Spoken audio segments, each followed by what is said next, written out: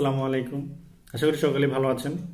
তো আজকে ভিডিওতে আমি যমুনা ব্যাংকের অ্যাসিস্ট্যান্ট অফিসার জেনারেল এই পোস্টটি নিয়ে আলোচনা করব। অ্যাকচুয়ালি অনেকেই আমার কাছে জানতে চেয়েছে যে ভাইয়া এই পোস্টের স্যালারি কীরকম বা পরিবেশ কর্মী বান্ধব কিনা আহ, এছাড়া আপনার ব্যাংক কেমন ঠিকমতো প্রমোশন দেয় কিনা বা টার্গেট প্রেশার কীরকম আছে সব দিক নিয়ে অ্যাকচুয়ালি আমি আজকের ভিডিওতে আমার যতটুকু তথ্য জানা আছে বা কালেক্ট করেছি।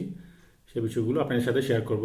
চলুন শুরু করি। অ্যাকচুয়ালি অ্যাসিস্ট্যান্ট অফিসার জেনারেল এখানে অ্যাসিস্ট্যান্ট অফিসার দুই ধরনের নিয়োগ হয় জেনারেল এবং ক্যাশ অফিসার তো আমি আজকে জেনারেল অফিসারদের নিয়ে আলোচনা করব। তো অ্যাসিস্ট্যান্ট অফিসার জেনারেল এই পোস্টের বেতন আপনার চল্লিশ হাজার টাকা অ্যারাউন্ড পঁয়ত্রিশ থেকে চল্লিশ হাজার টাকা। আর এছাড়া আপনার প্রভিশনিং পিরিয়ড পার হওয়ার পর প্রতি বছর বছর আপনি এখানে ইনক্রিমেন্ট পাবেন। অ্যাকচুয়ালি ইনক্রিমেন্টগুলো ব্যাংকের একটা এসিআর আছে। অ্যাকচুয়ালি এটা কেপিআই বলা হয়। কেপিআই অনুযায়ী আপনার ইনক্রিমেন্টটা হবে। মানে এটা যদি আমি একবারে সাধারণভাবে বলি যে তিন বা চার ধরনের কেপিআই হয়ে থাকে পারফরমেন্সের উপরে নির্ভর করে। আর এছাড়া আপনার ব্যাংকটা কেমন? অ্যাকচুয়ালি যমুনা ব্যাংক দু হাজার এক সালে এটা প্রতিষ্ঠিত হয়।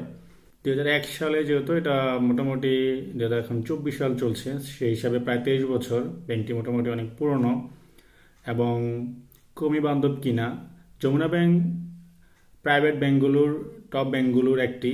এখানে যমুনা ব্যাংকের কর্মপরিবেশ অত্যন্ত সুন্দর এবং কর্পোরেট যে কালচার সেটা যমুনা ব্যাংকের মাধ্যমে আপনি পাবেন। এখানে পরিবেশ খুবই ভালো এবং কর্মী বান্ধব একটি ব্যাংক।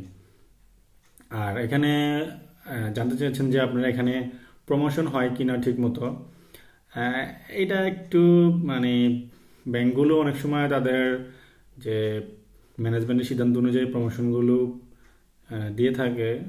এছাড়া আপনার দেখা গেছে যে ব্যাংক যে বছর ভালো প্রফিট করে, সে বছর প্রমোশনে কোনো বাধা দেয় না বা যে বছর ব্যাংক অনেক খারাপ করে, সে বছর দেখা গেছে আপনার যে প্রমোশন কম দেয় বা দিতে চায় না বা কম দেয়। সেক্ষেত্রে যেমন করোনার সময় অনেক প্রমোশন অনেক ব্যাংক দেয়নি বাট পরবর্তীতে অনেকেই আমরা যতটুকু জানি, জেনেছি যে সাধারণ কিছু প্রশ্ন করি প্রমোশন অনেককে দিয়ে দেওয়া হয়েছে, যেহেতু অনেকের প্রমোশন অন টাইমে হয়নি, অনেক ডিউ ছিল। So initially assistant officer general এই পদে প্রথম প্রমোশনটা নিতে পাঁচ থেকে ছয় বছর লেগে যায়, তবে পরবর্তীতে তিন চার বছর পর পর প্রমোশন হয়ে থাকে।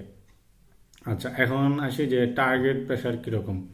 আচ্ছা জেনারেল ব্যাংকিংয়ে আপনার ইনিশিয়ালি আপনার যে কোনো ব্যাংকই হোক কেন, যমুনা ব্যাংকে আপনার ইনিশিয়ালি অ্যাকাউন্ট ওপেনিং ডেস্কে আপনাকে বসানো হবে।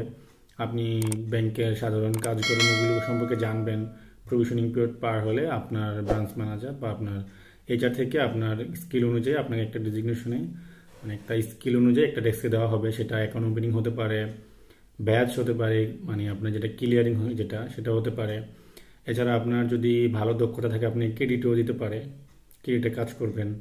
ব্যাংকে অনেক ধরনের কাজ হয় ট্রেড ফাইন্যান্স হয়, যেখানে বড় ব্রাঞ্চে এলসি হয়, বা এডি ব্রাঞ্চ হলে আপনার ট্রেজারি ডিভিশনে কাজ করতে পারেন আপনি ডলার সেল করবেন বা ডলারের যে কাজকর্মগুলো থাকে সেগুলো করতে পারেন।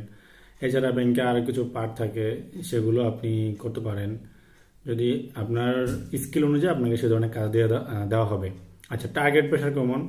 যমুনা ব্যাংকে আমি যতটুকু জেনেছি যে যমুনা ব্যাংকে আপনার টার্গেট প্রেশার অত চাপাচাপি করা হয় না। যেমন আপনার সিটি ব্যাংক স্টান ব্যাংকে বা ব্র্যাক ব্যাংকে যেরকম চাপাচাপি করা হয়, চাপাচাপি এখানে একটু কম যতটুকু জেনেছি।